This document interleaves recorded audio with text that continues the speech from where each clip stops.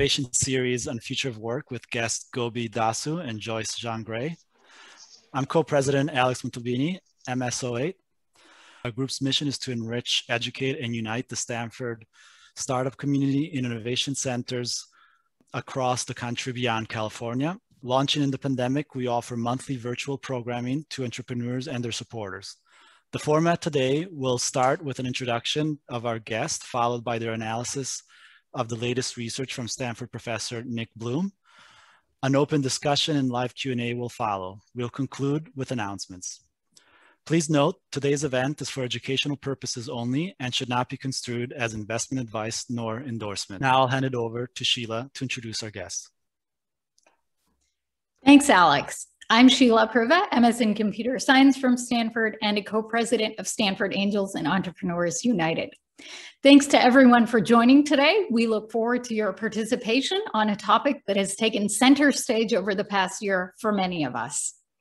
We'll share the latest research from Stanford professor Nick Bloom and his colleague Jose Barrero, PhD 2018.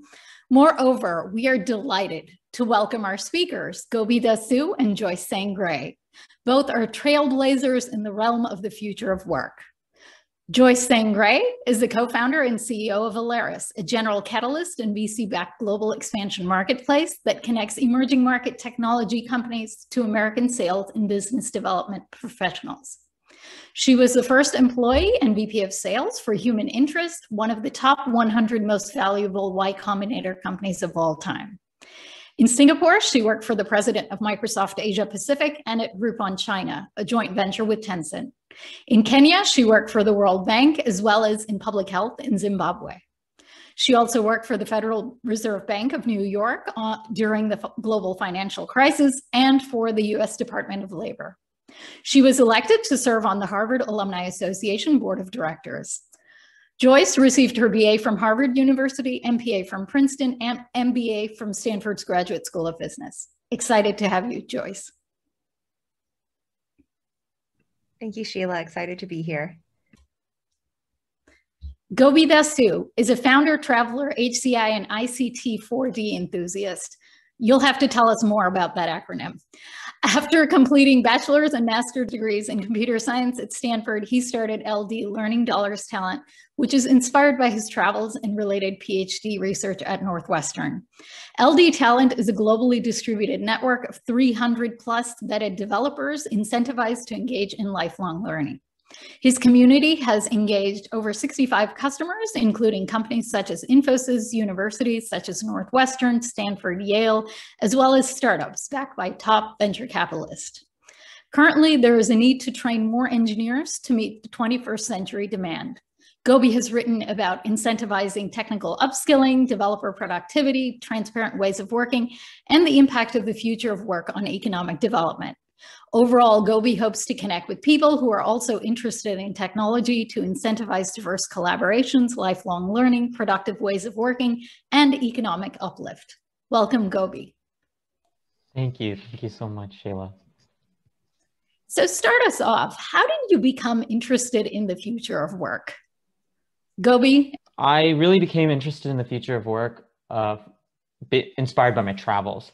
So I'm trying to go to 100 countries um, and been to 37. And I, whenever I visit a country, I'll I'll note how wealthy it is, um, what's its GDP per capita, things like that. And I just noticed that wherever I go, there's brilliant people everywhere. And it's almost like uh, you take the same brain and you move that brain from who knows where in the world to the Silicon Valley, and all of a sudden that same brain is worth so much more, 10 times more. and I found that a little bit ridiculous. And my travels you know, away from the Silicon Valley sort of inspired that thought in me. And um, something I resonated with um, what you said is that, yeah, there's a lot going on in the Silicon Valley, but like it's important for a lot of uh, uh, Stanford alums to also travel to other parts of the world and, and other parts of the country and see what's going on. And so that's sort of what interested me because these themes of remote work, distributed teams, they really uh, have an economic mission, a social mission. Um, and that sort of relates to the acronym ICT for D, um, which is like information and communication technology for um, development. Um, and so, so whenever we think about uh, hiring diverse workforces from different parts of the world, it's it's not just it's going to make um, it's not just going to make uh, your team stronger. Uh, it's not just going to make it so that the sun never sets on your on your company, for instance, but also it, it's important. It's like a socially good thing to do as well. That's sort of where my inspiration comes from. So for me, a, a, lot of what Gobi says resonates. And additionally, as Sheila knows, because we originally met through the Stanford Midwest Angels, I grew up in Michigan. It's actually where I'm currently based right now. And growing up, it really uh, was very eye-opening to me that uh, there's the rise and fall of a lot of great technology giants. Because when I was younger, the largest companies in the world were General Motors, Ford, and Daimler Chrysler, and they were the Silicon. And Detroit was the Silicon Valley of its time. Um, and there's always a constant, inexorable push towards innovation, but sometimes we forget about the human element of what happens when the entire economy shifts and when jobs change locations or when the center of gravity uh, moves west in this case. So I often grew up with this thought of how can I you know, bring development and bring resources back to the Midwest? Um, how can these great, talented people who are educated at top universities, but who want to be here with their families, still access the same opportunities? And um, on the other side of the equation, when I spent time abroad working in emerging markets, I just saw the tremendous growth and all the capital that was getting concentrated and accrued in um, Asia, in Latin America, in the Middle East, and in Africa. The, the rate of change and that leapfrogging of um, technology was just incredible. But they were often bottlenecked in some of what they could achieve because of geographic barriers, even nationality or visa barriers, things that seemed a bit arbitrary because talent is universal, but oftentimes, again, I just saw opportunity was bound by geographic and local networks and local resources. So I started thinking a lot about this question of the future of work, um, not just about how to hire diverse teams, that's very important, but also how to economically empower um, employers, employees, or people who are collaborating together. And the, this even this term employee or employer is of course one that is very uh, tricky because the relationship between those who have capital and those who are working on behalf of those who have capital in order to provide a good or service is also changing dramatically. And this was a question that um, was very interesting to me to, to solve and to try to think what is a mutually beneficial way in which a rising tide can lift all boats, in which you can provide something of great value and you're not, again, uh, bound by your geographic location and also great entrepreneurs and companies can reach markets that they otherwise wouldn't have access to by virtue of their birth or other um, more arbitrary factors in their lives. Excellent, thank you. From the video, Why Working From Home Will Stick, Professor Nick Bloom puts perspective on the recent jolt from COVID quoting him to give you a sense of how long it would have taken pre-pandemic working from home was roughly doubling every 12 years. So the pandemic has generated about a quarter of centuries growth of work from home in basically two years. Now that's based on 5% work from home before covid 60% at the peak of covid and about 25% projected to work from home post covid could you both share your thoughts on the covid accelerant to remote work Joyce? Sure. I'll start with that. Um, so there are quite a few studies that, uh, as, as, Professor Bloom had pointed out, um, indicated a timeline where many companies, especially those who are uh, technology enabled, would be able to move their workforce towards a hybrid model or a work from home model. And of course, that was accelerated. But if you think about it, um, in some ways, it's a very uh, Americentric approach as well, because we've been outsourcing talent for a very long time. And in many other countries, especially in the IT sectors, they've been working from home, um, working as the remote team or the remote uh, back office of a lot of American companies for a while, or even this phenomenon of virtual assistants. So there's been, there has been a lot of hybrid work, but it's more seen as freelancer work or, or the gig economy. And I think even in the US, what we're finding is that um, it's estimated by 2028, more than half of the US population will identify as a freelancer or a 1099 employee and not a W-2, which is pretty astounding. So there's a couple of different um, phenomenon that are happening, I think it's becoming more socially acceptable. In the past, people might have thought, oh, to say I'm a freelancer, I don't want my friends to think I'm unemployed. Whereas now with a creator economy, even with you know YouTubers, um, actually the number one job that American youth say that they want to pursue, the majority of American youth, about 30% um, in the survey, is they want to be a vlogger or YouTube influencer. So it's just indicating that there's actually a very large shift in how people perceive of what work means. Work is something that gives you dignity, it gives you money to put food on the table for yourself and your family, but it doesn't have to take the form of a nine to five where you clock in and clock out at a factory or in an office the way that it did for previous generations. So I do think that this has been accelerated and people are thinking more comprehensively um, and they don't they might not even call it virtual work or remote work in the future because it is just work. Gobi would you like to add to that? Yeah so so first of all covid is covid is horrible and um, a lot of people have suffered because of of covid uh, because of family members and and um, being affected by it or themselves. And and i think we should recognize that it is very difficult for people to transition quickly. Uh, for instance, people's lives may have been shaken. Uh, that being said, it's also a learning moment. So I think I agree with a lot of what Joyce said, which is that there are so many things we, we have learned uh, in terms of being, when, whenever there's a jolt, whenever a huge fraction of the population is just asked to work differently, uh, we learn new things. For example, we learn that uh, people all over the world are, are equal. And uh, eh, you can, um, you know, you, you could be um, a mom of three kids living in the Philippines uh, who cannot physically travel uh, to work every day, but can work from home and do excellent work. And you can be as effective as someone uh, sitting in a skyscraper in New York City, for instance. I think that is something that we have learned. For instance, I have seen concrete examples that I hadn't really seen before of people, for instance, coming to our platform, discovering full stack developers in Uganda or um, uh, blockchain developers in, in um, Kenya.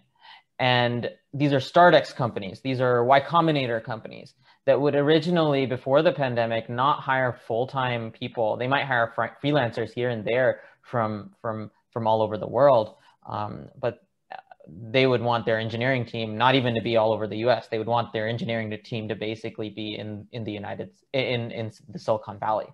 But now what I saw is like initially they still came in and they were like, oh, our platform gives a free trial. They're going to fund hours and work with them as contractors, like similar to other online contracting freelancing platforms.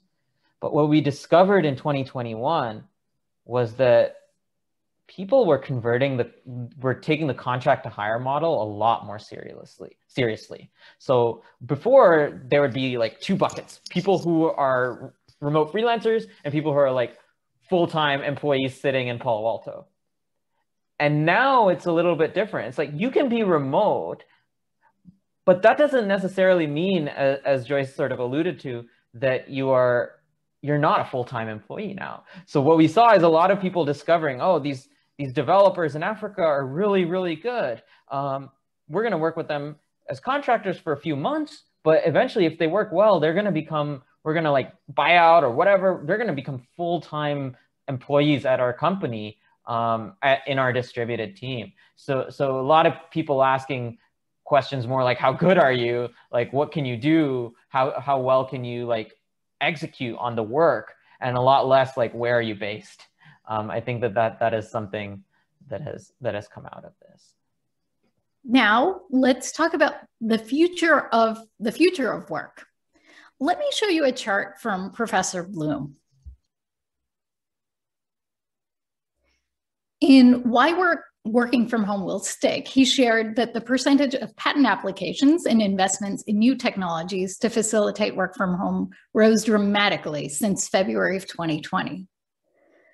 What areas do you see as ripe for innovation? As we, we were in lockdown and and we were made to do many many things remotely I and people I've talked to in business have realized how many things that we can possibly do remotely. So it's almost not even the question of like, where, what do we think could be done in a different way in the future of work, but almost like, what couldn't be done differently? Um, for instance, like just like affordances of like video chat, for instance, affordances of video chat are, are areas that are ripe for for innovation. The way we do meetings, um, things like like detecting when when you're when you're engaging in conversation with video chat for some venues like when you're talking to friends maybe it's a little bit different but for instance in business venues in in sales calls you might want to know is the other side am I losing the attention of the other side? Um, there are areas where you could use a little bit of computer vision and um, natural language processing to sort of figure out when you're on a sales call, when am I losing the other party? What can I do? What kind of language can I do to improve my performance? So that's like a concrete example of an area where you might see a lot of companies um, sort of build technologies. Um, in terms of telemedicine, if you're a doctor and you want to like see different aspects of a patient, um, right? There are certain things that you could do. You could have a like a sort of like sensors on the individual or different things where you could look into their ear for instance uh, without actually stepping in and using devices. You could even have um, devices shipped to individual if they're affordable enough uh, medical devices shipped to individual people um, and and um, they could use it in their at the convenience of their home uh, and and you as a doctor could maybe read the data from those devices. So those are some concrete examples. And especially with the in the rise of like infectious diseases and things like that it almost is even a health concern for people to meet their own doctor on occasion.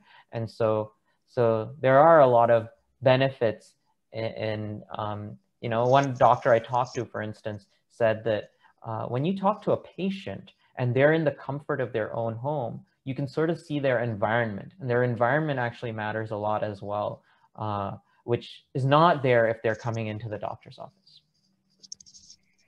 Those are really great examples. Um, and we're seeing that as well because we work with companies from all over that are trying to scale their startups. And they really believe in this model of built in India or built in Israel and made for the world and um, telemedicine has seen a boost, also e-commerce, uh, also fintech and financial services.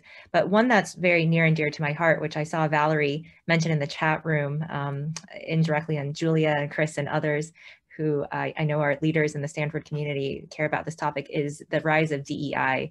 Um, how diversity, equity, and inclusion initiatives have actually become accelerated because of COVID. And there was already pr previously this whole notion of, okay, well, we should have blind resumes. But ultimately, even with a blind resume, you will meet the person in person and their physical appearance, you know, how old they are, how tall they are, all these things do factor in. Um, and now what we're seeing is people are focusing more on deliverables. What can you accomplish? What can you do? And that actually does help even the playing field a lot more. You're not being judged as much, I suppose, uh, um, it's it's still difficult. I think we're still evolving as a society, but you're not being judged as much by things that are outside of your control, but more um, by things that you can deliver because work has become much more quantifiable and also has become much more structured because if you're working with someone who's remote and you have to be as a manager flex new muscles you have to be very clear about what you want you have to be very clear about even asynchronous communications because of time zones um, because of other things. And so I, I, actually think this is really pushing forward better DEI um, in, the, in this whole global economy. That's an excellent point. Uh, so Joyce, you recently fundraised from General Catalyst and other prominent venture funds. What are investors looking for in companies in this space? Yeah, thanks, Sheila. That's a great question. Well, investors are always looking for, I guess, exciting ideas, a big market, which this clearly is, and um, huge growth. So they oftentimes will look at um, growth, but also they want to make sure it's sort of not just a tailwind from COVID, but one that is going to continue even beyond. And given that a lot of indications are the future of work is sort of a new normal that's here to stay, then it's about you know how um, how wide the adoption is and how interoperable it is with different systems. And so a lot of investors are very keen on this. There have been a couple of funds that have started that are specifically geared towards future of work just because it's such a hot topic area. Thanks. Now we have a short survey from professor bloom and jose barrero Okay, thanks everyone. Joyce, Gobi, what are your thoughts on the results? Let me share those.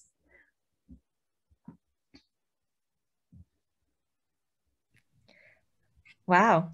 That's um well, I suppose it's also because it's the Stanford Angels and everyone tends to be um, on the cutting edge of, of things or for many companies, it, it shouldn't be too surprising, but this is a, a smaller percent of fully on-site um, than I think is the average in the US at least.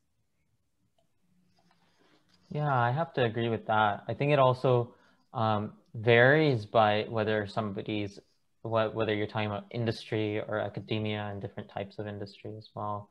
For instance, if you're looking at a, say, a university, sometimes the in-person experience is what they're selling to differentiate themselves from, say, an online course. Whereas if you're looking at a at a at a company that makes money for building software, um, it's a very different thing. Or, um, for instance, if you're looking at McKinsey or any any sort of consulting firm, um, maybe part of their value is just by the human connection. I don't know, uh, but but I think that this the survey seems to be um, well, I agree with you in that it seems to be higher levels of hybrid and remote work from what we've seen the averages are. What I would also be really interested in is um, the the pros and cons and what people are losing or gaining. And this is something that's very personal to teams, to um, hiring managers, to the employees in question, as well as to the companies. But um, something that I think about a lot, not just for the companies we work with, but also, of course, internally as a founder, um, is you know how can we create a really strong team culture in which everyone really feels invested in each other and in the success of the organization and how much of that can still be done virtually and how and what are you losing when you don't have that in-person um, that in-person kind of uh, work environment? And so the strategy we've come up with which i think is just maybe a function of the fact that we're a startup and we're a bit smaller and everyone is open to this um, is that we're fully virtual but we we give everyone you know stipends for um, specifically for you know, we'll, we'll send them Uber Eats like desserts, or we'll give them kind of um, team meal like reimbursements so that if they're in town with someone else or if they want to meet up, they can. Um, and we're planning to do uh, quarterly sort of get togethers of the whole team once, of course, it's safe to travel because some of our team is not located in the US and they can't actually enter. So it wouldn't be very fair to have a team get together and exclude them. Um, so those are some things that we've devised around uh, culture and maintaining that element so that everyone still gets excited and they look forward to it because first they actually start becoming colleagues and building relationships virtually. So when they meet in person, it already feels like a natural continuation um, but it's you know just very different because usually in the past you're used to meeting someone in person and then maybe adding them on social media and kind of texting them and having this virtual relationship. But now the paradigm is totally shifted and it's something that uh, is exciting because we're on the cutting edge of it but it is challenging as a manager and as someone who has to think about these things uh, and and kind of preserve and maybe even strengthen the culture yeah, I, I think that that's very interesting, and I think that one thing that's that's really, really uh, that I noticed uh, was LinkedIn. They uh, and they you always used to have this uh, thing that said if you're adding someone, when when you add someone as a connection on LinkedIn, they said, "Have you met this person before?" But they changed that now. They changed that from "Have you met this person physically before to have you met this person either physically or online before. So i think there's also a recognition that people are developing full on relationships with other people business relationships friendships etc um, purely online. And so so that's one thing. It's like almost like yes there are things lost there are also things gained as, as well because you get to build relationships with people who might you might not necessarily have been able to before just because of location constraints. I think some of the concrete ways that we as an organization have cr created culture Um, I mean, I, I have heard of a lot of companies, like you mentioned, that do retreats like yours, and then also there's they, there's companies like Buffer, Zapier, um, that have HubSpot. A lot of them, um, I think more Buffer and Zapier, uh, and Automattic, which is the company that makes WordPress. They do have cultures of remote work, and then uh, you know you, you have a retreat once a few months or maybe once a year where everyone gets in in person. I think that is one strategy. Um, maybe another strategy for teams that may not have the budget for that or, or teams that, that may not logistically be able to do that is, is maybe it's okay to accept that, that uh, you are giving up certain things by working remotely in a remote distributed team where you don't necessarily meet in person, uh, but build other affordances of, of things like, for instance, um, the, things that you could only do if you were remote. For instance, uh, hiring really diverse teams. That is one example of something you, you probably can't do if you constrain to a particular location, um, just by virtue of the fact that not everyone in the world can move around. So you're by constraining to a particular location, you're you're definitely going to um, exclude people, um, or by constraining to um, to to a particular ability to travel you're you're excluding people. So those are trade-offs. It's almost like choosing what type of culture what type of company you you you want to be. Another thing is uh, try to think about the ways you do things like in person. You talk about different life interests books music etc you talk about um, you, you know you meet up with people you opportunistically see people in a hallway and things like that and there are different softwares that are co- cropping up like gather.town and, and Donut, which is a Slack add-on that randomly matches people and, and different softwares like that. Um, I would try to like experiment with some of those uh, because while they may not create the exact same level of opportunistic um, conversation as um, things that are in person, they may also create abilities to talk with people who you may not have necessarily talked to. Um, yeah, and exactly on that point, uh, Gobi, uh, Joyce, I don't think we would have met if the whole virtual world didn't gain prominence. Yeah, that, that's basically the point. I mean, Sheila so, is so masterful at creating online uh, communities through Zoom and really being able to extend the reach. So I wanted to commend Sheila for all she's done, and I, I agree. I feel very lucky that um, that we were able to meet through these forums. Yeah, you've done such a fantastic job organizing this, and you're so methodical about it, and I've I've learned so much from you. Uh, Thanks so much, both of you.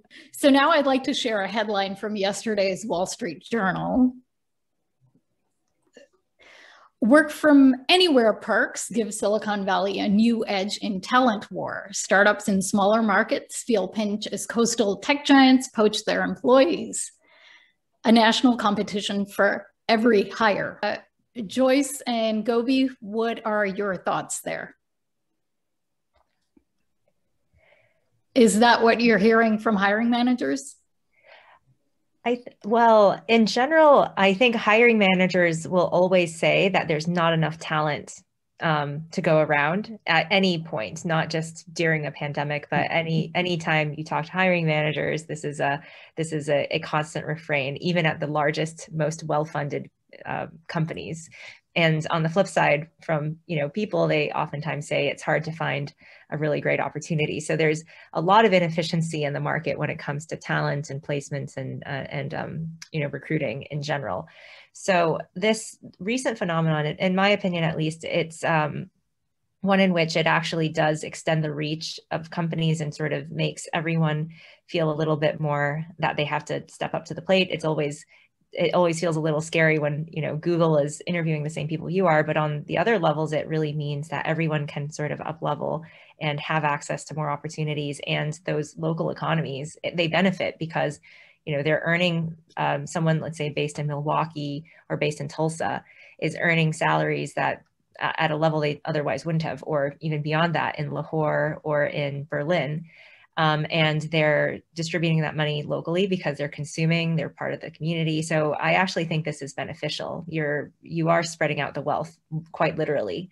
Um, and yes, I, I do understand that hiring managers will oftentimes feel a bit frustrated that there's more competition for the talent, but that that means the other talent in their in their community that they would otherwise hire then they can give someone else a chance and to hire for potential. I think this is another big shift that we're seeing that it's more and more important than ever before not to hire for experience necessarily that someone's already been there done that but to hire and, and really invest in training and upskilling people because it's incredibly important human capital is the most valuable resource any company can have, um, and even more so when you live in this future of work space. Uh, and so it's you know you have to compete. You have to really show what what it is that you can do, how you can help develop them, how you can help propel their career to the next level, the mentorship you offer, the um, friendships and community that you have. And I, I think this is just better for everyone to be held to a higher standard. Excellent. Now it's time for the live Q&A and open discussion. I know that Christina had asked a question pretty early on, uh, or like earlier on in the mm-hmm. conversation. Mm-hmm. Does is Christina still on the line? Does she want to ask her question? Hi, I'm just navigating the unmute button. Sorry. Um, there we go. All right. Um, yeah, so I'm a small business um, owner, and um, when the pandemic started, um, we actually went to work from home earlier than most others, and people flew to the winds. They they they you know went and to live with family. I have a pretty young staff.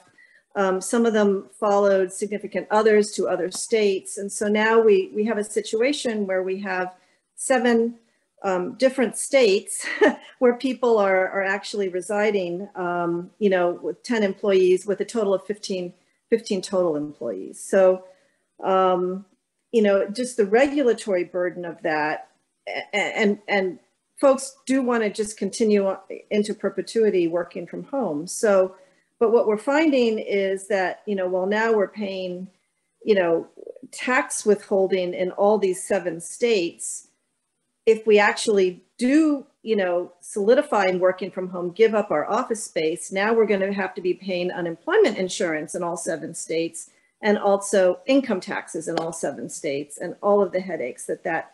So just the regulatory burden of distributing our workforce is is pretty huge un, unless, you know, you guys have a different idea. Um, that's that's my biggest concern actually right now that and then the training question that someone else brought up but sure, sure. well uh, Sheila had previously asked about what innovation um, our investor is investing in. And so actually HR tech has been a really big area of an investment. And um, I, am curious, Christina, what do you use for your HRIS or for um, payroll and benefits management, et cetera? Um, we use Intuit for payroll and Bamboo for HR, um, yeah. Okay, well, actually, I was going to make the suggestion that Gregory said. So, Gusto, which actually was co founded by a GSB alum, um, has payroll and compliance in all 50 states. And it's really, their growth has really been accelerated by COVID. But you should also look at, I would be remiss not to tell you to look at some of their competitors just so you can make the decision that's best for your business. So, there's Rippling, which um, is similar. There are also PEO services like JustWorks um, is one that's quite that's also venture backed and has grown very significantly. Those are probably the right ones for um, you know small medium businesses. There are others for larger businesses, but I think for your um, state size size of company, Gusto, Rippling, or JustWorks would be really great options to look into. So they would take care of the unemployment insurance payments and the income tax filings and the withholdings necessary for for the different states. So we, you don't have yeah, to. I mean, we we do do that now, um, but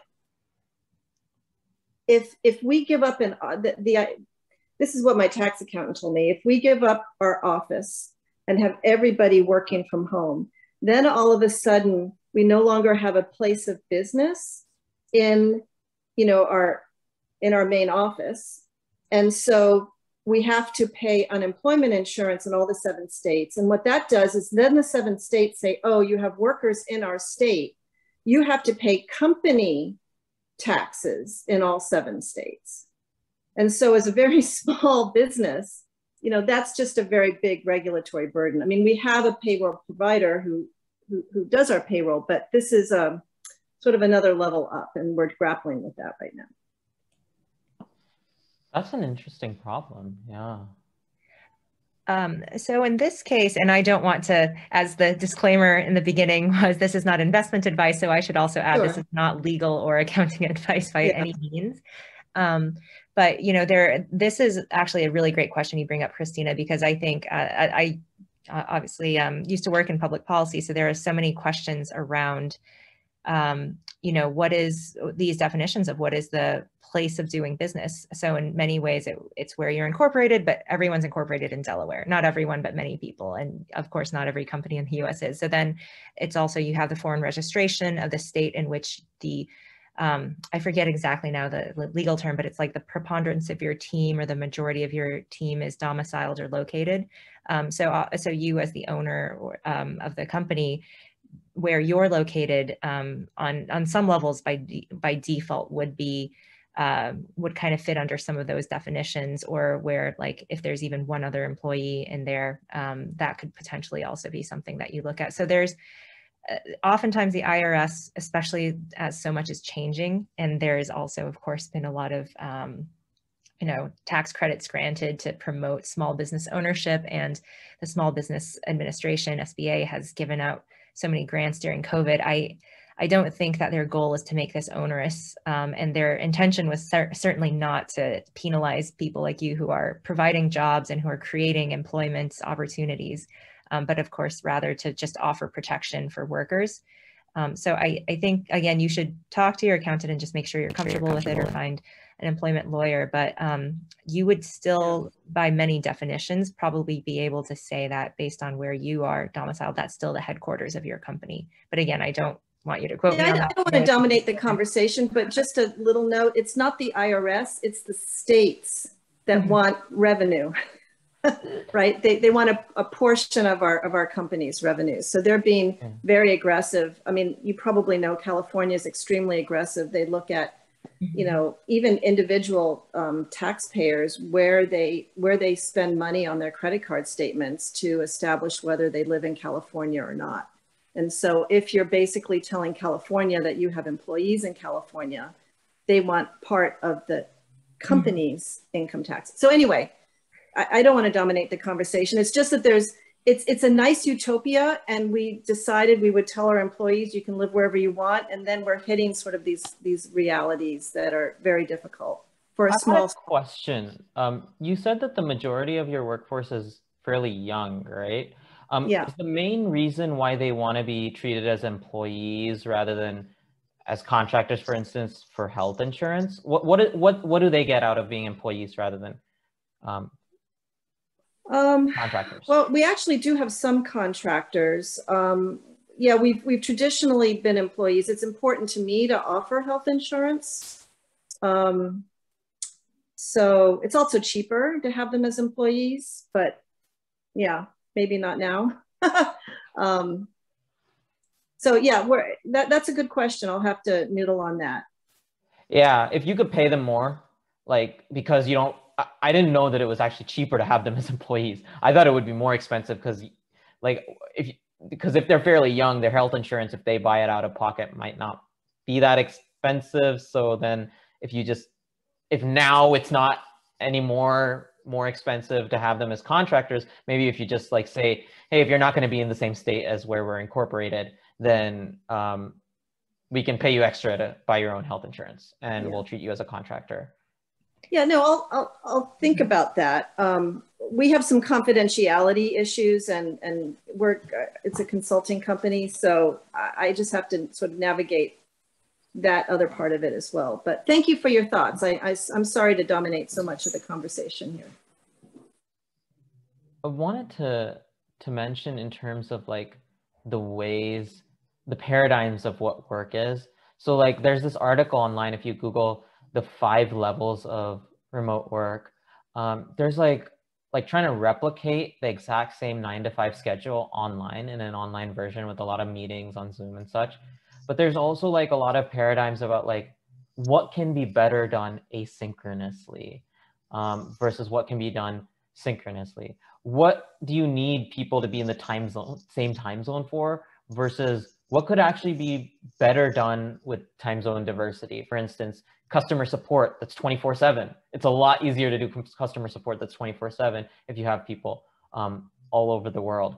Sometimes when you're dealing with a lot of problems um, that require a lot of thinking, sometimes it's actually better rather than trying to figure out something on in a meeting together to let each person get take their time to think and respond asynchronously. So Paul says uh, things have changed mightily since Marissa Mayer summoned everyone back from telecommuting in 2013. Her rationale was fostering innovation and creativity, presumably from conversations around the water cooler. Assuming that her move was not baseless or mistaken, how will fully remote work foster the innovation and creativity Ms. Mayer sought?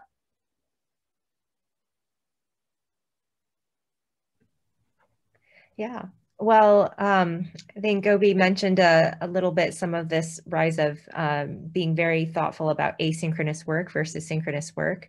So in addition to that, and kind of blending in um, one of the questions that Valerie asked earlier about how can you onboard people, I do think that, um, you know, there are lots of companies like Notion is one or many other um, uh, startups that are really around kind of codifying and passing on knowledge and having either an internal knowledge base or internal wiki or some some matter of being able to preserve everything that you know perhaps if you're in a team meeting and everyone's speaking more frequently they would just take that as a matter of course. So it's actually better for continuity planning and also for succession planning because so much more is captured and written down rather than just um, kind of assumed or or spoken uh, or passed along orally. So there are ways in which, um, and when you talked about the water cooler conversation, some of these are are perhaps it feels more structured, but it definitely leads to better um, training and then better innovation. So in terms of creativity, the people often talk about what is that serendipity of Silicon Valley? Why is it that when you have a gathering of some of the best and brightest minds, you can accomplish such incredible things. And part of it is because there weren't options to have a convening of the minds other than in person before. And we've become accustomed to that notion. But if we are very thoughtful, um, we there are many ways in which people have kind of uh, virtual sort of hackathons where everyone's co-working at the same time. Um, there are companies like Tandem and others that uh, will facilitate some sort of collaboration where it simulates being in person. Um, there's also just carving out, uh, you know, again, work meetings and having things in the agenda that are actually not meant to be structured, but are meant to just be like a virtual water cooler or virtual um, free flow of information and time. Like even, I suppose, this Q&A session right now, this is not, uh, these were not questions that we anticipated beforehand. This is more a dialogue, a conversation that we're having. So this is one, one way in which I think if everyone is actively trying to be engaged. I think it much more is an opt-in um, mindset, but if everyone's more engaged and wants to be collaborative and innovative, you can still have a lot of that. Um, I had a thought on that um, as well. I, I, I, really like what you just said. Um, and I wanted to provide a few examples of some of those creative ways. For instance, how does innovation happen? Well, well, it actually is happening right now, even to like adjust to the remote work setting. Um, for instance, a lot of people were concerned about whether employees are doing good work or not. Um, and one thing that we sort of came up with, we saw like different ways of time tracking, like Upwork had their time tracker where they like clock hours and um, you have different methods of logging. But one of the things that we thought about was like, if everyone's just talking in Slack, what if we make the Slack messages themselves be the way you bill your and get paid. Like I've concretely finished this task or I'm concretely working on this task. Um, that's a message I'm writing in Slack. And then people never have to ask me, what am I working on? Because I'm like sort of like saying 30 minutes working on this, 30 minutes, here's a like link to what I've built.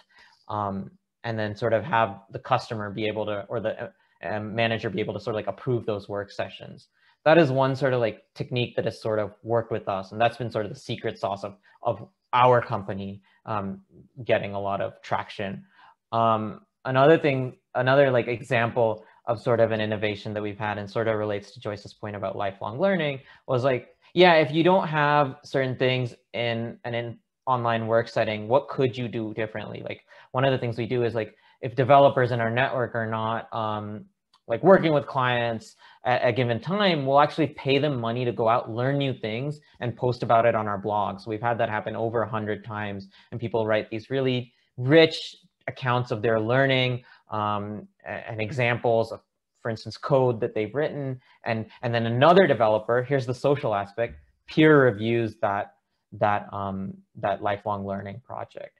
Um, and so yes, you do lose certain things, but there are also like clever um, ways that you can uh, facilitate collaboration between, especially the key here is people who are better fit for each other who wouldn't have otherwise met in person.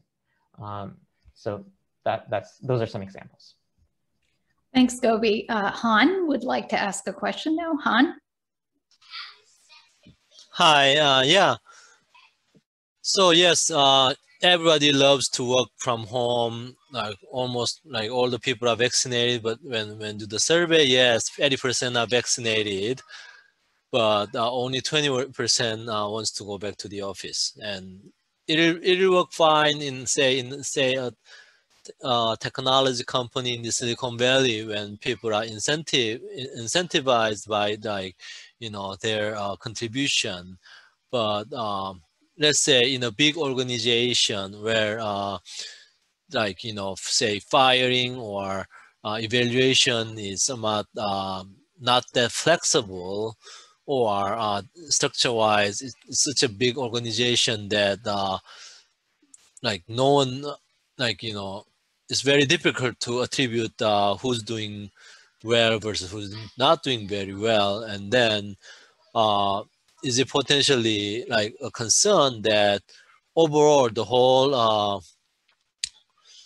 employees uh, together gets basically slacking out, uh, chilling out, uh, and um, it's just like you know not uh, performing as uh, as needed, uh, especially if incent there's no like little incentive for that. Rather they they are getting paid no matter what.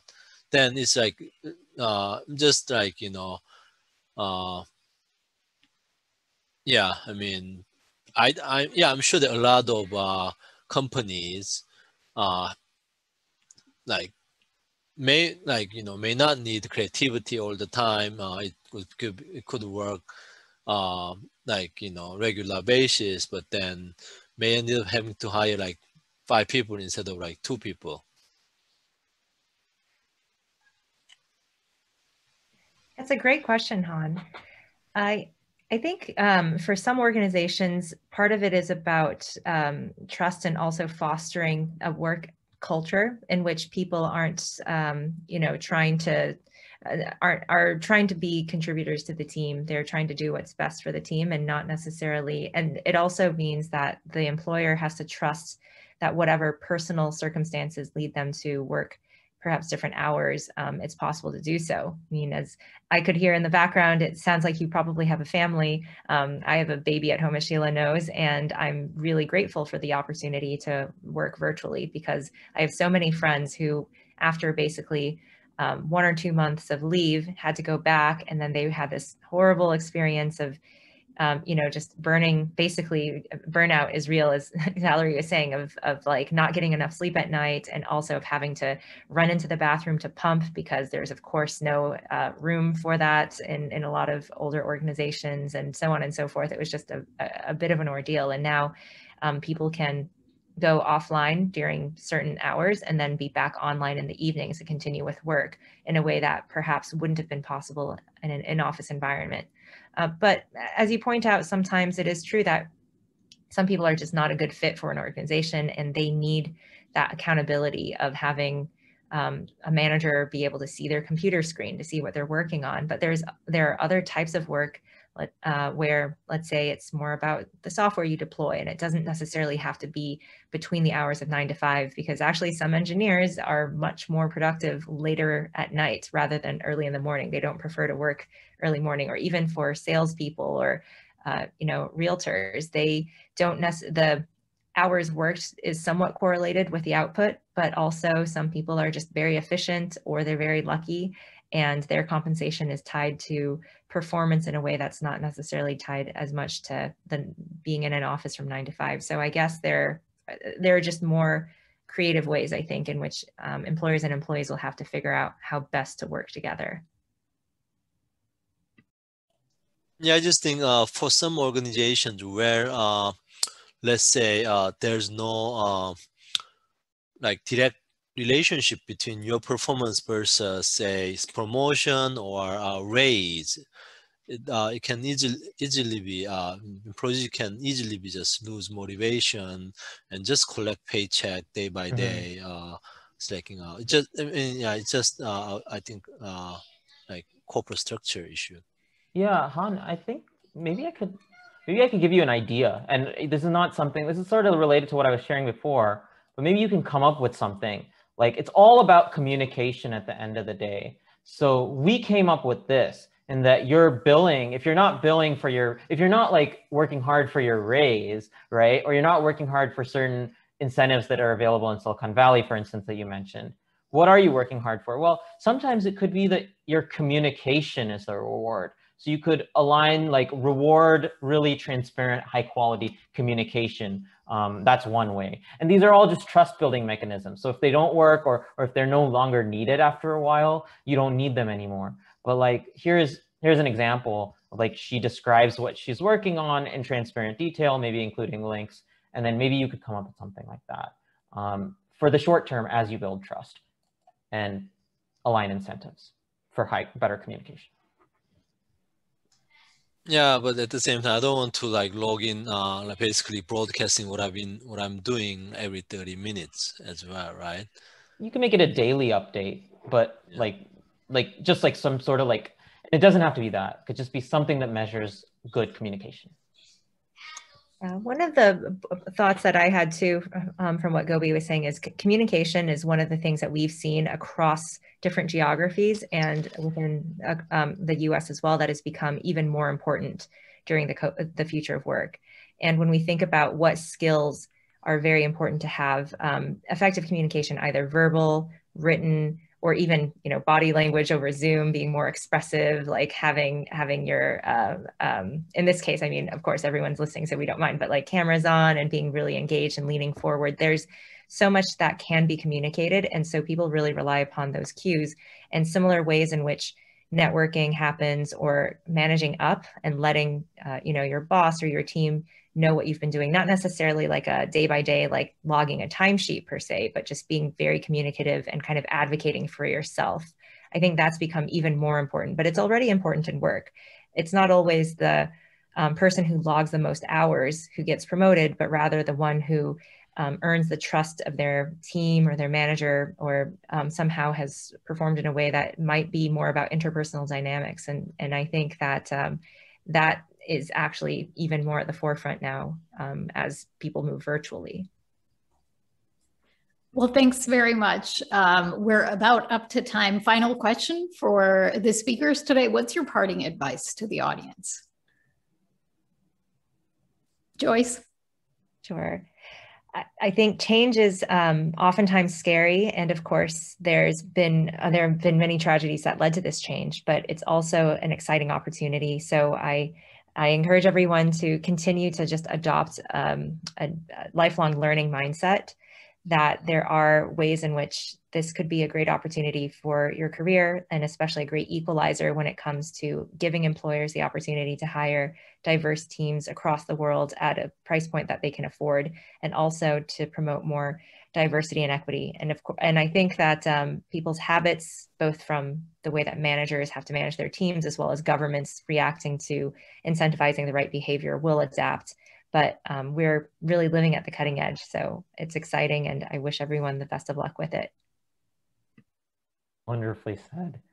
Uh, very simply, treat this as an opportunity, uh, as as sort of J- Joyce was saying. This is an opportunity to ask yourself, who would I want to meet?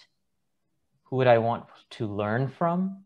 Who would I want to work with that I wouldn't be able to do if I wasn't given this opportunity of, of working with people remotely?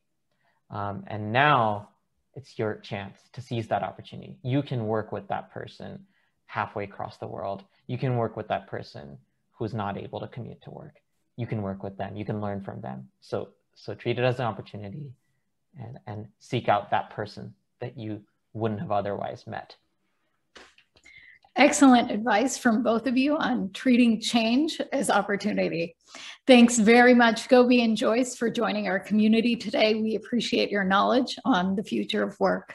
I'll hand it back to Alex for announcements. Thank you, Sheila. And uh, thank you so much, Gobi and Joyce, again, for the wonderful discussion and all the insights you've shared with us. Thank you, Sheila, for moderating, and thank you to uh, the audience for your participation. We have a few announcements to make before we conclude, conclude today's event.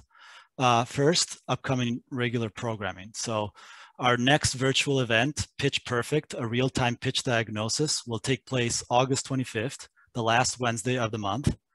As part of our legal series, join us for intellectual property and startups on September 29th with leading attorneys Ruben Chen, JD03, Candice Su, BS07, MS08, and Greg Meyer, Mayor, MS88. Second, we welcome your suggestions for programming such as today's event. Please send a note with your suggestions or desire or a desire to help in the email. Leave the session open for a few minutes for those who would like to note this information. This concludes today's session. Thanks so much for joining us. Have a great rest of your week.